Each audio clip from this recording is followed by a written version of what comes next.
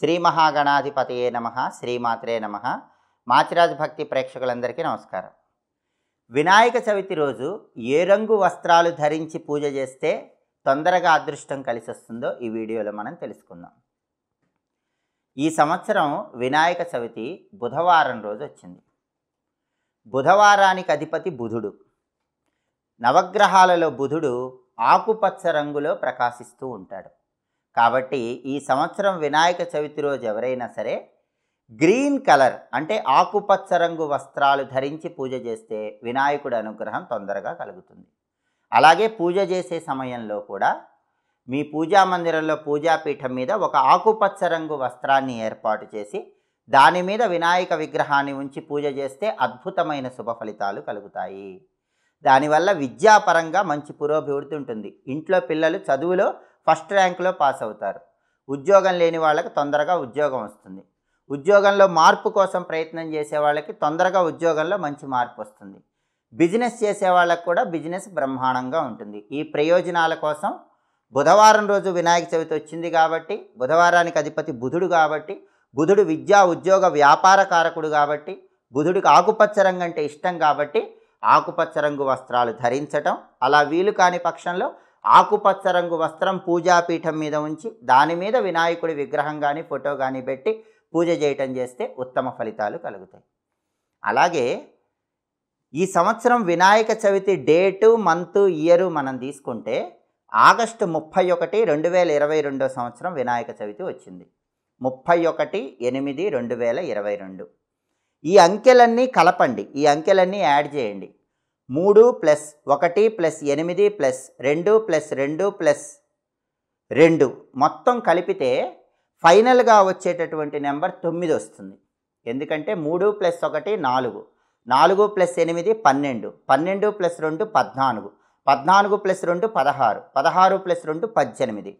అంటే ముప్పై ఒకటి ఎనిమిది రెండు వేల ఇరవై రెండు. అందులో ఉన్న అంకెలన్నీ కలిపితే పద్దెనిమిది అనే సంఖ్య వచ్చింది. పద్దెనిమిది అంటే ఒకటి ప్లస్ ఎనిమిది. మొత్తం కలిపితే తొమ్మిది వచ్చింది. అంటే వినాయక చవితి రోజు డేటు మంత్ ఇయరు మొత్తం యాడ్ చేస్తే ఫైనల్గా వచ్చే సింగిల్ డిజిట్ నెంబర్ తొమ్మిది వచ్చింది. సంఖ్యాశాస్త్ర పరంగా తొమ్మిది అంటే అది కుజుడికి సంబంధించిన నెంబరు.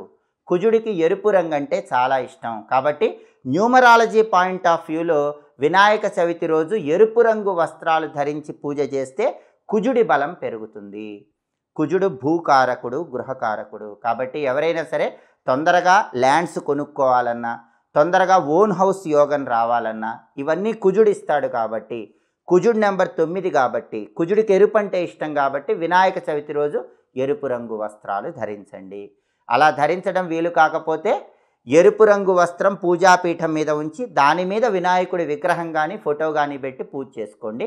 అదృష్టం బాగా కలిసి వస్తుంది కాబట్టి ఆస్ట్రాలజీ పరంగా అంటే జ్యోతిష శాస్త్ర పరంగా బుధవారం అయింది కాబట్టి వినాయక చవితి రోజు ఆకుపచ్చ రంగు వస్త్రాలు ధరిస్తే మంచిది. లేదా పూజా మందిరంలో పూజాపీఠం మీద ఆకుపచ్చ రంగు వస్త్రం ఉంచితే మంచిది. సంఖ్యాశాస్త్ర పరంగా టోటల్ నెంబర్ తొమ్మిది వచ్చింది కాబట్టి న్యూమరాలజీ పరంగా అది కుజుడి నెంబర్ కాబట్టి ఎరుపు రంగు వస్త్రాలు ధరించి పూజ చేసినా లేదా పూజాపీఠం మీద ఎరుపు రంగు వస్త్రం ఉంచి దాని మీద వినాయకుడి బొమ్మ పెట్టి పూజ చేసినా ఉత్తమ ఫలితాలు కలుగుతాయి. ఒక్కొక్క రంగు వస్త్రానికి ఒక్కో ప్రయోజనం ఉంటుంది. ఆకుపచ్చ రంగు వస్త్రం అయితే విద్యా ఉద్యోగ వ్యాపార రంగాల్లో మంచి అభివృద్ధి ఏర్పడుతుంది. ఎరుపు రంగు అయితే భూలాభము గృహలాభము కలుగుతుంది.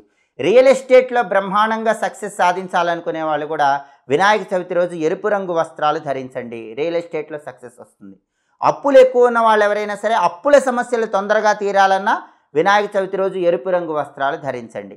మీ బ్రదర్స్ అండ్ సిస్టర్స్తో రిలేషన్ బాగుండాలన్నా వినాయక చవితి రోజు ఎరుపు రంగు వస్త్రాలు ధరించండి. ఇలా ప్రత్యేకమైన ప్రయోజనం పరంగా ఎరుపు లేదా ఆకుపచ్చ రంగు వస్త్రాలు ధరిస్తే ఉత్తమ ఫలితాలు కలుగుతాయి. దైనందిన జీవితంలో మీకు ఎదురయ్యే అన్ని రకాలైన సమస్యలకి చక్కటి పరిష్కార మార్గాల కోసం ఎదురు చూస్తున్నారా? పండుగల సందర్భంగా పాటించవలసిన సులభమైన పరిష్కార మార్గాలు తెలుసుకోవాలనుకుంటున్నారా? మీ జీవితాన్ని ఆనందమయం సంపన్నమయం చేసుకోవాలనుకుంటున్నారా? అయితే మా మాచిరాజ్ భక్తి ఛానల్ని తప్పకుండా చూడండి. మా వీడియోస్ మీకు నచ్చినట్లయితే మా ఛానల్ని లైక్ చేయండి కామెంట్ చేయండి. మా ఛానల్ వీడియోస్ పది మంది మిత్రులకు షేర్ చేయండి. మా ఛానల్ని సబ్స్క్రైబ్ చేసుకోండి. పక్కనున్న బెల్ సింబల్ నొక్కటం మాత్రం మర్చిపోకండి. సర్వే జనాహా సుఖినో భవంతు. స్వస్తి.